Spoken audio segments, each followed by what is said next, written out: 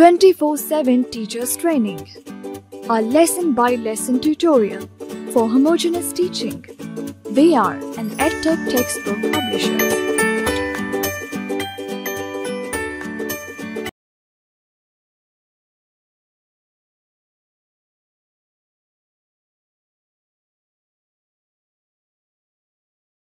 बसमीम अल्लाम मोहतरम teacher snowman publishers की जानब से खुश आमदीद ये सेशन अव्वल जमात की इस्लामियात के बाब दोम के हिस्सा अव्वल ईमानियात पर मुश्तमिल है, जिसका उनवान है नबूवत और रसालत।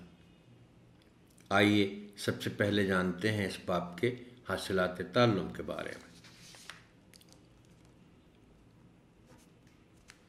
इस बाब की तकमील के बाद तलबा इस काबिल हो जाएँगे कि इस बाब को समझ कर ईमान पुख्ता करें, ताकि तमाम अम्बिया कराम सलाम को अल्लाह ताला ने इंसानों की रहनुमाई के लिए मबूस फरमाया है। इस बात पर ईमान पुख्ता करें कि नबी करीम सल्लल्लाहु अलैहि वसल्लम अल्लाह ताला के आखिरी नबी और रसूल हैं। और आप सल्लल्लाहु अलैहि वसल्लम के बाद कोई नबी या रसूल नहीं आएगा। सबक का बाकायदा आगाज़ करने से पहले एक सवाल के ज़रिए मजमून की तमहीद उठाएँ। अल्लाह ताला के ख़ास बंदे कौन हैं? तलबा को बताएँ कि अल्लाह ताला के ख़ास बंदे वो होते हैं जिनमें अल्लाह ताला ख़ास खूबियाँ पैदा फरमाता है और जिन्हें नबी या रसूल कहा जाता है। सरगर्मी, बोर्ड पर तलबा की मदद से वो ख़ास खूबियाँ लिखें।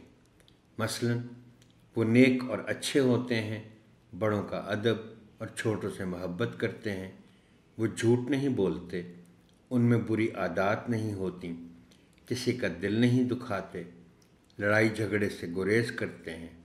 इंसान और जानवर सबके साथ रहम दिली से पेश आते हैं, अल्लाह ताला से डरते हैं और उसके अहकाम पर अमल करते हैं। चुनाचे इस तरह तलबा को नबी और रसूल का मफहम समझाया जा सकता है। तलबा को बताएँ कि मुसलमान होने की हैसियत से हम पर फ़र्ज़ है कि हम अल्लाह ताला के नबियों और रसूलों पर ईमान लाएँ और उनके बताए हुए रास्ते पर अमल करें। सरगर्मी, तलबा को बताएँ कि अल्लाह ताला ने उन ख़ास बंदों के ज़रिए हमें हिदायत का रास्ता दिखाया। वो हमें अच्छे काम करने का हुक्म देते थे और बुराई से रोकते थे।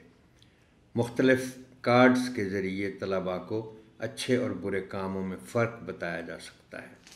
मिसाल के तौर पर, अच्छे कामों में बड़ों से सलाम करता हुआ बच्चा, छोटों के साथ प्यार करता हुआ शख्स, जानवरों को पानी पिलाता हुआ बच्चा, नमाज़ पढ़ता हुआ और दूसरों की मदद करता हुआ शख्स शामिल है। और बुरे कामों में आपस में झगड़ता, झगड़ा करते हुए लोग, बड़ों के साथ बदतमीज़ी करते हुए बच्चे, छोटों को मारते हुए शख्स, गंदगी फैलाते हुए लोग शामिल हैं। इन तस्वीर से ज़ाहिर होने वाली अच्छाइयों और बुराइयों के ज़रिए तलबा की आदात भी मालूम की जा सकती है। सबक के अगले और अहम हिस्से की तरफ़ बढ़ते हुए तलबा से इस हिस्से की बाज़ बुलंद पढ़ाई करवाएँ।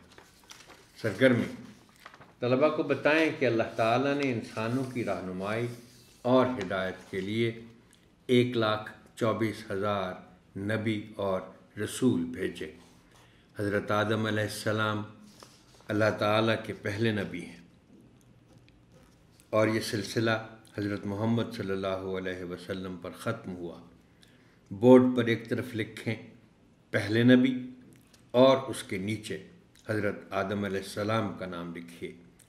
और दरमियान में एक लाख चौबीस हज़ार पैगंबर और रसूल लिखें और बाएँ जानब आखिरी नबी लिखें और उसके नीचे हज़रत मोहम्मद सल्लल्लाहु अलैहि वसल्लम का नाम लिखें।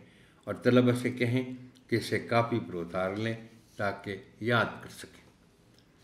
सबक का अगला हिस्सा अकीदा ख़त्म नबुवत है, जो कि नहायत अहमियत का हामिल है।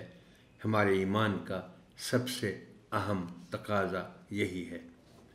सरगर्मी, तलबा को बताएँ कि अकीदा ख़त्म नबूवत क्या है। हज़रत मोहम्मद सल्लल्लाहु अलैहि वसल्लम को अल्लाह ताला का आखिरी नबी मानना है। और इस बात पर ईमान रखना कि आप सल्लल्लाहु अलैहि वसल्लम के बाद क़यामत तक कोई दूसरा नबी नहीं आएगा।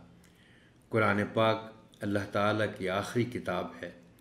अल्लाह ताला ने कुरान पाक को आप सल्लल्लाहु अलैहि वसल्लम पर नाजल फरमाया, तलबा को बावाज़ बुलंद इसकी मशक करवाई जा सकती है। तलबा से पूछें कि अल्लाह ताला के आखिरी नबी कौन है? तलबा बावाज़ बुलंद बताएँ हज़रत मोहम्मद सल्लल्लाहु अलैहि वसल्लम इसी तरह आखिरी किताब के मुतालिक पूछें, जवाब में तलबा बताएँ, कुरान पाक। यूँ तलबा को अकीदा ख़त्म नबूवत, जहन नशीन कराया जा सकता है।